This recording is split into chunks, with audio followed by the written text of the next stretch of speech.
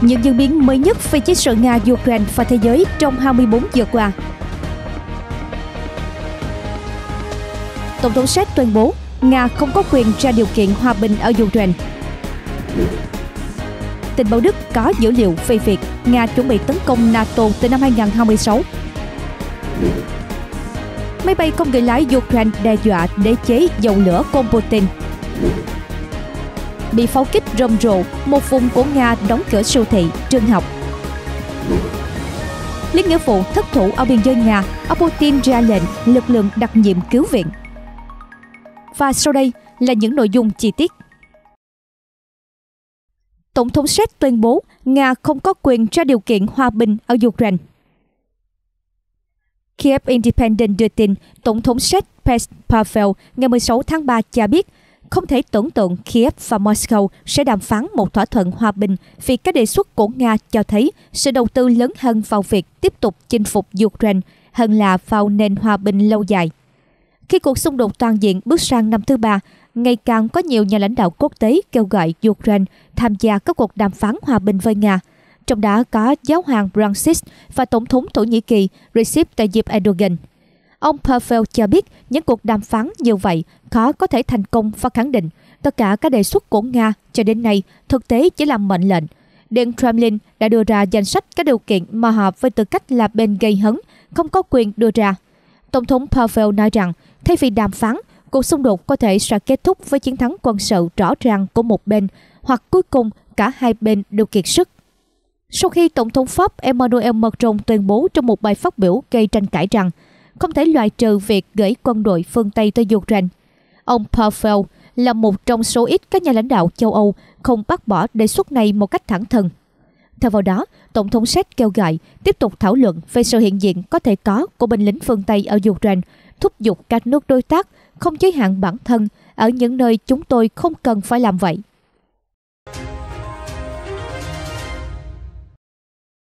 Tình báo Đức có dữ liệu về việc Nga chuẩn bị tấn công NATO từ năm 2026. Cơ quan tình báo Đức đã phân tích mối đe dọa quân sự từ Liên bang Nga. Họ dự đoán rằng một cuộc tấn công vào NATO có thể bắt đầu vào năm 2026.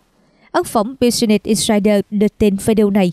Phân tích cho rằng Nga đang chuẩn bị cho một cuộc xung đột quy mô lớn với phương Tây từ năm 2026. Theo các cơ quan tình báo Đức, điều này được thể hiện qua việc tổ chức lại quân đội Nga, việc di chuyển quân đội và triển khai tên lửa ở phía tây đất nước, cũng như sự gia tăng sản xuất vũ khí ở Liên bang Nga. Đặc biệt, việc tăng cường sản xuất vũ khí có thể khiến Nga tăng gấp đôi sức mạnh quân sự trong 5 năm tới so với hiện nay. Đã không thể loại trừ khả năng Nga sẽ tấn công ít nhất một phần lãnh thổ của NATO từ năm 2026, chẳng hạn như các nước vùng Baltic hoặc Phần Lan, tài liệu viết. Điều đáng chú ý là các cơ quan của Đức chưa từng công khai những tuyên bố cụ thể như vậy. Đồng thời, trụ sở NATO cũng chia sẻ quan ngại về sự gia tăng sức mạnh quân sự của Nga và khả năng đối đầu tiếp theo, nhưng tin rằng điều này không nhất thiết phải dẫn đến chiến tranh. Trước đó, tờ Financial Times viết rằng phương Tây ngày càng tin tưởng vào khả năng Nga tấn công một quốc gia NATO. Theo truyền thông đưa tin, một trong những nghiên cứu của châu Âu cho thấy Nga có thể tấn công châu Âu vào mùa đông năm 2024-2025.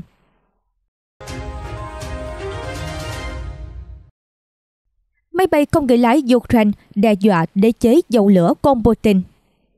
Hôm nay, máy bay không người lái đã tấn công hai nhà máy lọc dầu ở tỉnh Samara của Nga. Trước đó, Bloomberg đưa tin các nhà máy lọc dầu buộc phải ngừng hoạt động trong tuần này, chiếm 12% công suất lọc dầu quốc gia của Nga. Chính quyền tỉnh Samara của Nga cho biết, sáng nay ngày 16 tháng 3, máy bay không người lái đã tấn công hai nhà máy lọc dầu ở tỉnh này, gây hỏa hoạn kinh hoàng, tuy không gây thương vong. Vụ tấn công được cho là diễn ra vào lúc 6 giờ theo giờ địa phương. Máy bay không người lái đầu tiên tấn công cơ sở của một nhà máy lọc dầu ở Sichuan một đám cháy bùng lên ở đó. Đám cháy đã lan rộng trên diện tích 500 mét vuông. Cùng lúc đó, một số máy bay không người lái khác đã tấn công nhà máy lọc dầu ở Novokubitschev. Ngọn lửa cũng bùng phát và được dập tắt sau nửa giờ. Nhà chức trách gọi đây là một âm mưu tấn công và thông báo rằng họ đã đẩy lùi một cuộc tấn công vào nhà máy lọc dầu Novokubitschev. Ngoài ra, một nhà máy lọc dầu ở Lipetsk Oblast cũng bị máy bay không người lái tấn công trong đêm. Mảnh vỡ của hai chiếc UAV phát nổ được tìm thấy tại trạm Stanovaya, một phần của đường ống dẫn dầu Rosba. Giá dầu thô tăng vọt trong tuần này sau khi các máy bay không người lái của Ukraine liên tiếp tấn công nhiều cơ sở lọc dầu của Nga. Trước đó, Ukraine đã gây ra làn sóng tấn công nhắm vào hàng loạt cơ sở quan trọng ở Kryazan, phía đông nam Moscow, vùng Rostov gần biên giới Ukraine. Nizhny Novgorod, cách thủ đô gần 300 dặm về phía đông, thành phố Kisry gần Saint Petersburg và Berlin. Savov cách Moscow khoảng 100 dặm về phía tây nam. Ngành công nghiệp dầu mỏ của Nga đã tỏ ra kiên cường qua hai năm chiến tranh, xuất khẩu dầu lửa tăng mạnh sang Trung Quốc và Ấn Độ. Giới hạn giá và các biện pháp trừng phạt của phương Tây đã không ngăn được dầu thô của Nga, khiến Kiev thất vọng và Ukraine bây giờ dường như đang tự mình giải quyết vấn đề này. Tầm quan trọng chiến lược của các mục tiêu trong tuần này là rất lớn. Nhà máy lọc dầu Nasri gần Nizhny Novgorod thuộc sở hữu của Lukoil và lọc khoảng 15,8 triệu tấn dầu thô của Nga hàng năm, tương đương khoảng 317.000 thùng mỗi ngày. Con số này chiếm gần 6% tổng số quốc gia. Reuters đưa tin trích dẫn các nguồn tin trong ngành. Cơ sở này cũng sản xuất khoảng 4,9 triệu tấn xăng, 11% tổng sản lượng của Nga, 6,4% nhiên liệu diesel, 5,6% dầu ma sút và 7,4% nhiên liệu hàng không của đất nước. Reuters cho biết ít nhất một nửa sản lượng của nhà máy lọc dầu đã mất do cuộc tấn công bằng máy bay không người lái ngày 12 tháng 3. Tại Kirishi, chính quyền địa phương tuyên bố rằng một máy bay không người lái của Ukraine đã bị bắn hạ trước khi kịp gây thiệt hại. Nhà máy lọc dầu ở đây là một trong hai nhà máy lọc dầu hàng đầu ở Nga, xử lý khoảng 17,7 triệu tấn hàng năm tương đương 355.000 thùng mỗi ngày, 6,4% tổng số. Các mục tiêu nói lên lan rộng đã nhấn mạnh sự thành công của Ukraine trong việc xuyên thủng chiếc ô phòng không của Nga và cho thấy sự biến đổi của các nền tảng UAV được sử dụng trong chiến dịch tấn công tầm xa của nước này. Vào tháng trước, ông trùm máy bay không người lái của Kiev, Bộ trưởng chuyển đổi kỹ thuật số Mikhail Fedorov nói với Reuters rằng Ukraine đang sản xuất hàng nghìn máy bay không người lái có khả năng tấn công các mục tiêu ở 300, 500, 700 và 1.000 km. Các nhà phát triển UAV của Ukraine đang nghiên cứu một phương tiện có thể bay 2.500 km và có kế hoạch cho chúng vượt quá 3.000 km. Mùa hè năm ngoái, Fedorov nói với Newsweek rằng Ukraine đang trên đường trở thành nước dẫn đầu thế giới về sản xuất máy bay không người lái. Về mặt lý thuyết, những tiến bộ như vậy sẽ đưa các cơ sở lọc dầu lớn ở xa như Omsk và Tobolsk Cả hai đều ở khu vực Siberia, phía đông dãy núi Ural, vào trong phạm vi hoạt động. CNBC đưa tin trong tuần này dẫn lời Andy Lipow, chủ tịch của Lipow Oil Associates. Chiến dịch tấn công bằng máy bay không người lái của Ukraine trong năm nay đã tấn công các cơ sở chiếm 25% tổng công suất lọc dầu của Nga là 6,8 triệu thùng mỗi ngày. Lipow nói với cơ quan rằng khoảng 50% công suất lọc dầu của Nga nằm trong phạm vi hoạt động của máy bay không người lái của Kiev. Sergei Fakulenko thuộc Trung tâm Á-Âu Kenison Nga cho rằng chiến dịch đang diễn ra của Ukraine khiến 18 nhà máy lọc dầu của Nga với công suất tổng cộng 3,5 triệu thùng mỗi ngày, hơn một nửa tổng công suất của Nga nằm trong phạm vi hoạt động. Fakulenko nói thêm rằng Moscow sẽ cần tìm cách để nhanh chóng sửa chữa các cơ sở bị hư hại của mình – Điều này là không dễ dàng dù họ có nhiều linh kiện trong nước nhưng họ bị cô lập với thị trường quốc tế hơn Ukraine. Nếu chúng ta chứng kiến sự khởi đầu của một làn sóng tấn công vào các nhà máy lọc dầu ở miền Tây nước Nga, thì hậu quả sẽ rất nghiêm trọng. Dù thế nào đi nữa, khả năng phục hồi và sự khéo léo của Nga có vẻ sẽ bị thử thách nghiêm trọng. Valerenko nói.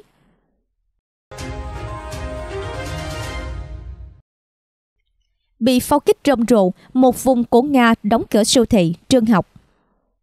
Kính thưa quý vị, vùng Belgorod nằm giáp biên giới Nga-Ukraine đã buộc phải đóng cửa các siêu thị và trường học do các cuộc tấn công của Ukraine ngày càng dữ dội. Chính quyền vùng Belgorod nằm tại biên giới phía đông của Nga đã ban bố lệnh đóng cửa tất cả cơ sở giáo dục đào tạo kể từ ngày 18 tháng 3. Trong khi đó, các trung tâm mua sắm phải đóng cửa kể từ hôm nay 17 tháng 3. Động thái trên được đưa ra trong bối cảnh Ukraine tăng cường tiến hành các cuộc tấn công nhằm vào khu vực này. Trước mắt, lệnh đóng cửa áp dụng chủ yếu tại các địa phương nằm sát biên giới và thành phố thủ phủ Belgorod. Tình hình hết sức khó khăn ở cả khu vực đô thị và các vùng lân cận.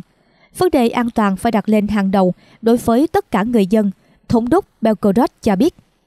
Thực tế, nhiều trường học trong vùng vốn đã đóng cửa kể từ tối ngày 12 tháng 3 khi một lực lượng xâm nhập biên giới Nga từ phía Ukraine tấn công Belgorod. Tại thời điểm này, vị thống đốc đã yêu cầu học sinh tự học ở nhà cho đến ngày 15 tháng 3 và hy vọng các trường học mở cửa trở lại từ ngày 18 tháng 3.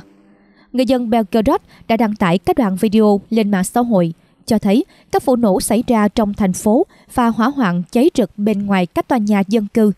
Trong một video, người xem còn nghe thấy một người phụ nữ thốt lên sợ hãi khi phải rời khỏi nhà. Theo thống kê của CNN, ít nhất 5 người đã thiệt mạng và hàng chục người bị thương sau các cuộc tấn công tuần qua. Belgorod liên tục bị pháo kích kể từ nửa đầu năm 2023, nhưng các cuộc tấn công đã được tăng cường đáng kể trong vòng một tuần gần đây – Đáng chú ý là cuộc tấn công của một lực lượng từ phía Ukraine sử dụng xe tăng, máy bay không người lái và cả máy bay chiến đấu để tấn công hỏa lực vào Belgorod. Nhiều nguồn tin cho biết có sự tham gia của người tự xưng là công dân Nga trong lực lượng này. Người phát ngôn Điện Kremlin Dmitry Peskov cho biết các cuộc tấn công vào Belgorod và Kursk phần lớn thất bại. Tổng thống Nga Vladimir Putin đang liên tục cập nhật tình hình, theo dõi diễn biến tại khu vực.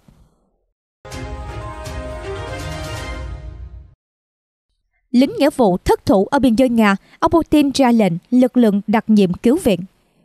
Tổng thống Vladimir Putin đã được thông báo về kế hoạch của các nhóm dân quân Ukraine nhằm tiến hành cuộc tấn công nhằm vào vùng biên giới Nga, và ông đã ra quyết định thay thế lính nghĩa vụ ở khu vực này bằng lực lượng đặc nhiệm. Nhà báo Pavel Sarubin cho biết, dẫn lời Bộ trưởng Quốc phòng Sergei Shoigu. Cơ quan tình báo đã nhận được thông tin về những nỗ lực tiềm tàng nhằm xâm phạm biên giới Nga hai tuần trước khi những cuộc tấn công này xảy ra.